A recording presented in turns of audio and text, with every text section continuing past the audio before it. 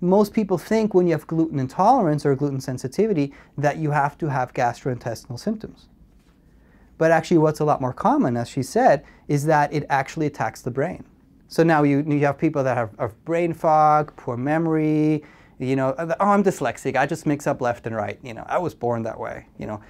I guarantee you 80% of my patients are dyslexic. Well, you wonder why, okay? Um, and, and on and on. You go into depression, ADD, ADHD with children, into autism, all right? So there's a lot of problems into migraines. Of course, you have the GI symptoms. Any kind of chronic inflammatory condition, anybody that's chronic inflammation or any autoimmune disorder.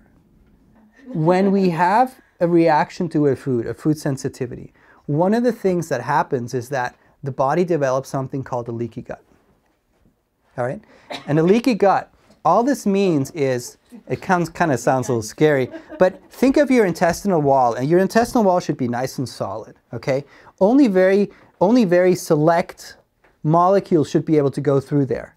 Very small broken down amino acids, not full big proteins and things like that.